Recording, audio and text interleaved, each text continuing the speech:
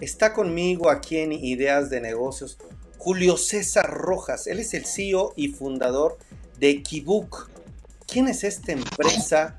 Vamos a hablar sobre temas funerarios, aunque ustedes no lo crean. Un tema difícil, pero que se tiene que tocar hoy en día. Y para eso está Julio aquí conmigo. Muy buenas tardes, Julio, ¿me escuchas? Buenas tardes. Hola, ¿qué tal, Miguel? ¿Cómo estás? Muy buenas tardes. Bienvenido a Ideas de Negocios. Platícame quién es Kibuk, cómo la fundas, por eh, cuál es el modelo de negocio. Están en México algunos datos como sus, su crecimiento, sus empleos, cuántas unidades este, o servicios han vendido. ¿Me podrás dar un panorama general, por favor, de quiénes son?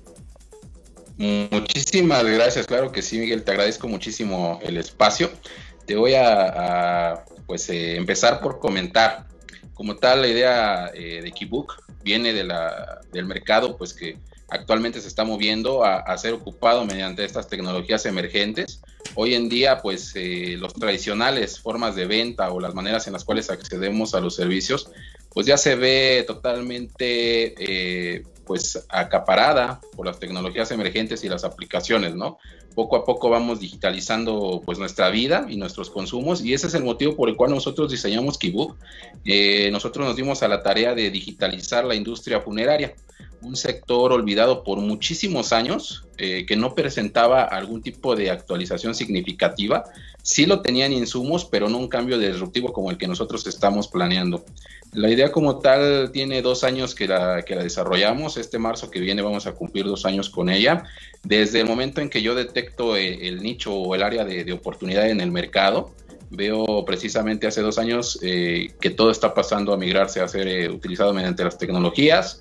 Detecto el área de oportunidad y a partir de ahí pues es una investigación completa del mercado, ¿no? Desde, desde ir a trabajar ocho, ocho meses en funerarias pasé por cuatro funerarias eh, en el estado de, perdón, ahí en Guadalajara, en la ciudad de Guadalajara, y eh, pues tratando de, desde el área operativa, es decir, desde incluso pues hacer de, conductor de una carroza o eh, recolección de, cuerpos, hasta incluso trabajar directamente en las EMEFOS o directamente ya en mandos gerenciales. Todo esto pues para tener o desmenuzar bien la industria, ¿no? Yo creo que cuando generamos algún producto debemos de conocerlo a la perfección, qué es lo que se trata y hacia dónde vamos. Y en base a eso pues sacamos eh, pues información muy eh, concreta eh, yo creo que las aplicaciones nos sirven o le sirven a nuestros usuarios para que nosotros les simplifiquemos la vida y además de ello le demos un mejor servicio. Estas estadísticas que, obtuve en la investigación de nuestro mercado era que eh, el 60% de las funerarias en México no cuentan con un eh, reglamento o, bien no se encuentran afiliadas de una manera legal, ¿no? Están haciendo su, su función de una manera legal.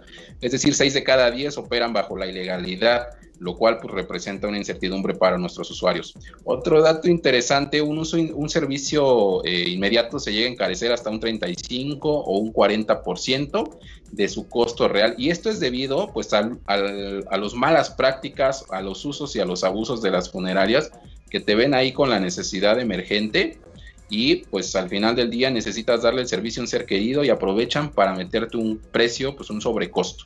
Entonces nosotros eh, nos damos a la tarea en Kibuk de generar una comunidad de funerarias, únicamente registrar a funerarias legalmente establecidas. Y una vez que nosotros hacemos ese registro, a la vez les pedimos que suban su oferta comercial para los usuarios, de tal manera que esta parte que te comentaba de los sobrecostos, pues queda eh, totalmente eh, pues reducida, ¿no? No permitimos nosotros que se, que, se haga una, el dinamismo de nuestros costos y eh, a la vez la misma plataforma al final del día se convierte en un pues ambiente de sana competencia entre funerarias legalmente establecidas de tal manera que el usuario se ve beneficiado ya que encontrarán los mejores precios, los mejores servicios y pues a la vez una manera muy accesible de, encontrar o de conectar con un servicio funerario.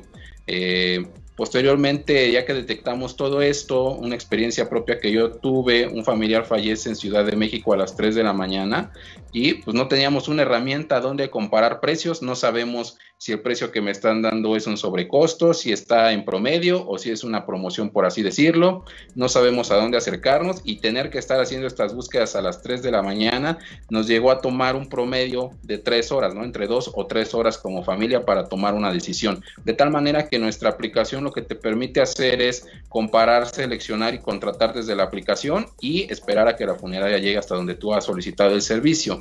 Lo que nosotros hicimos al final del día, pues es un catálogo digital de servicios funerarios, de tal manera que las funerarias pueden subir imágenes de ataúdes, urnas, carrozas, si cuentan con salas de velación también lo pueden hacer. Entonces, la propuesta por nuestra parte, pues es disruptiva en la industria funeraria y pues hemos tenido una, una buena aceptación. Eh, ahorita todavía estamos en un, en un proceso pues de tracción en el mercado, a pesar de que llevamos trabajando con la aplicación dos años. Esto quiere decir que dos años a partir de la planeación, flujos de servicio, bocetos de cómo debería de funcionar, hasta sacar un producto mínimo viable que lo hicimos el día 2 de noviembre, Día de Muertos aquí en Ciudad de México. No, bueno, me dejaste impresionado.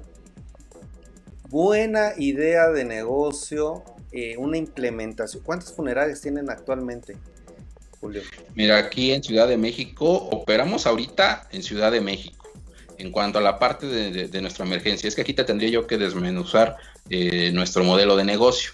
Nuestro modelo de negocio es uno, atendemos emergencias, es decir, ahorita yo bajo, tengo la necesidad de un servicio, bajo la aplicación en cualquier tienda, ya sea en Android o iOS, bajo la aplicación, ingreso al área de emergencias y en emergencias por localización GPS me va a dar un listado de entre eh, de, las funerarias que se encuentran eh, legalmente establecidas entonces ahí tenemos 60 funerarias ya listas para atender la parte de emergencias, que 60 de 60 funerarias nosotros tenemos capturado más de 500 diferentes planes de eh, todo incluido, porque esa es otra, otra, otra parte que es importante comentarte dentro de la aplicación. Únicamente vas a ver servicios todo incluido por decirte todo incluido, me refiero a que es desde la eh, recolección, el, eh, el embalsamado, el arreglo estético, la urna para cenizas, el ataúd, el eh, pago del uso del horno crematorio en su caso, el pago de los trámites legales, las carrozas que acompañan los cortejos. Entonces son planes todo incluido, ¿no? Deben incluir una sala de velación y si ellos no cuentan con una sala de velación, te deberán de incluir entonces pues el equipo de velación a domicilio. Al final del día tú como usuario seleccionas qué es lo que tú necesitas. Dentro de la aplicación vas a poder elegir también si son cremaciones o si son inhumaciones. O si incluso, en mi caso, por ejemplo, yo tengo familias o, que mi abuelo es de Hidalgo y mi abuela es de Puebla, eh, y yo creo que eso lo podemos replicar en varios eh, residentes de la Ciudad de México, nuestros orígenes están fuera, entonces podemos hacer una cotización de un traslado de ese, del cuerpo de mi familiar a cualquier estado de la República, teniendo en cuenta que nosotros le damos a la funeraria un costo pues base para que graben su costo base, más aparte pues ingresen el, cobro de, por kilómetro recorrido. Entonces, eh, tenemos más de 600 diferentes opciones, todo incluido para nuestros usuarios. Pero a la vez, Miguel, eh, se me hace importante comentarte, al final del día nosotros lo que hicimos fue digitalizar la industria y eso nos permitió a nosotros tener nuestro propio modelo de, negocio o nuestros propios servicios, que es una comunidad. Esta eh, comunidad eh, tiene un costo de inscripción, 170 pesos de inscripción y posteriormente 70 pesos al mes. ¿Cuál es la ventaja? Que por este pago de 70 pesos al mes y pertenecer a nuestra comunidad, la comunidad te respalda un servicio funerario de manera anual de hasta 16 mil pesos con la funeraria de tu, de, tu preferencia y nuestra cobertura con nuestra comunidad es a nivel nacional. Eso quiere decir que en cualquier lugar de la República tú puedes descargar la aplicación, suscribirte y en algún momento que tú llegues a necesitar el servicio, te acercas con la funeraria. Ajá, dime eh, perdón, te, eh, me decías, te acercas y bueno, lo haces válido. Estos 170 pesos, pero pues si alguien nada más se mete a la aplicación, la paga y quiere ya un servicio de 16 mil pesos, ¿cómo le haces ahí para protegerse ustedes? No, nosotros necesitamos fondear la, aplicación. Obviamente aquí para que tú puedas solicitar por primera vez el servicio con nosotros, debes de por lo menos tener cuatro meses en la comunidad.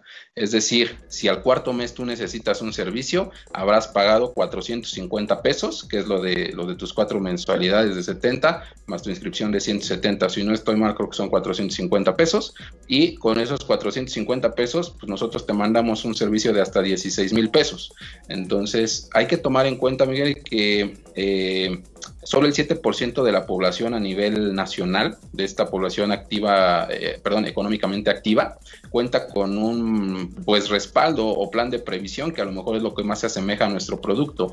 Y eso es precisamente porque son demasiado costosos. Y sé que me estás dando información bien importante, pero permíteme interrumpirte porque quiero aclarar algunas dudas. Sí, claro. Em, me queda mucho la duda, por ejemplo, ¿quién respalda estos planes? ¿Quién, digamos, a ustedes les provee estos servicios para que la gente se meta, meta los 170 pesos y ustedes puedan responder. ¿Quién les provee? La misma, la misma comunidad de las aportaciones de cada uno de los integrantes se van, eh, de ahí se va cubriendo la parte de los servicios. Por ponerte un ejemplo, nosotros por cada 200 mil suscriptores atendemos 500 servicios. En promedio, esa es nuestra, nuestra eh, proyección, vaya, ¿no? Eso es lo que nosotros logramos registrar en cuanto al, estudio de nuestro producto que íbamos a sacar, por lo cual es completamente viable que se realice. Ahora, ¿quién me respalda? ¿Hay un contrato de esto que me dices? ¿Legalmente qué se tiene?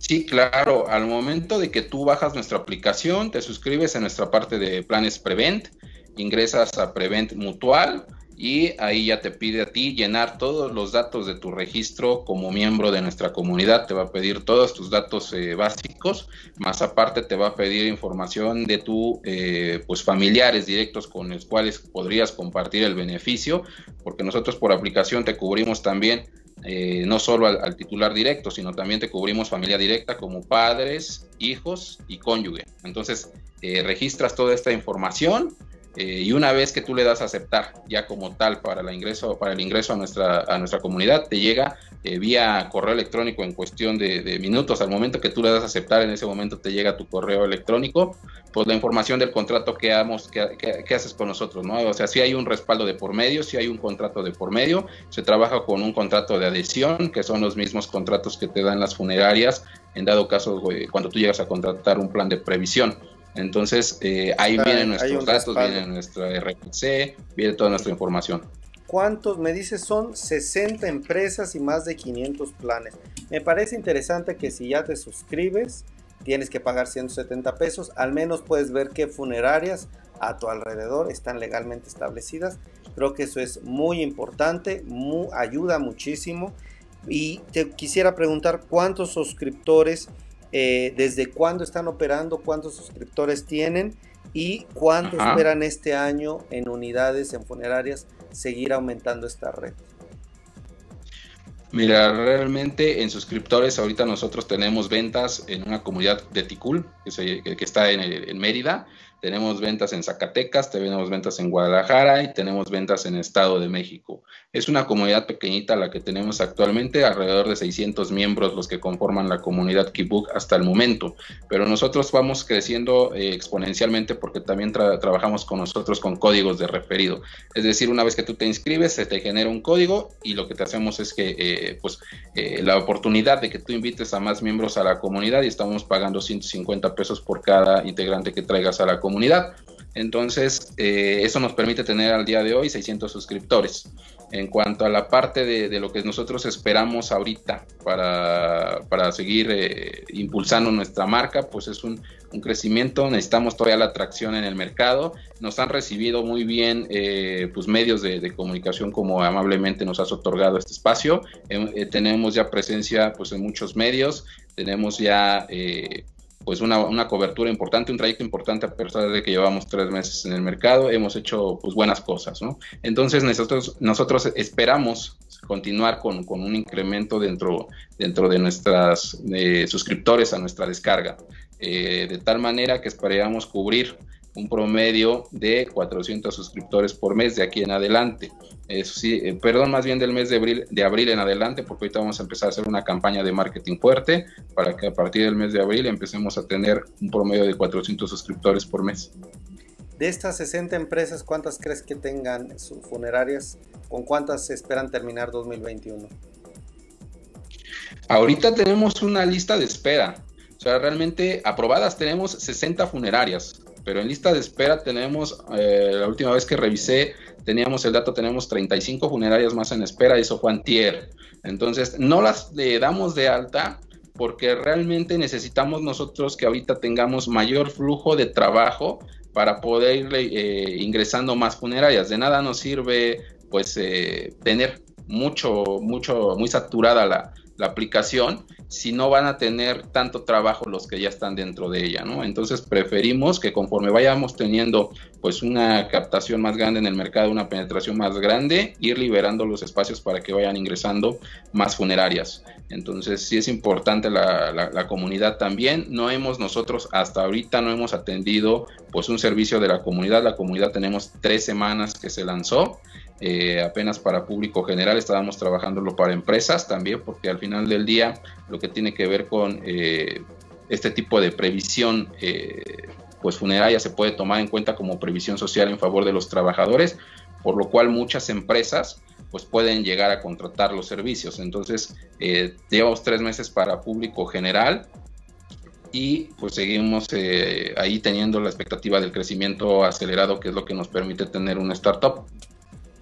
Pues eh, la verdad es que muy interesante, Julio. Eh, César Rojas, CEO y fundador de Equibook. Creo que tienes un modelo de negocio interesante. Qué bueno que se tomen el tiempo de verificar a las empresas. Creo que estamos en un momento en que esta aplicación vale oro.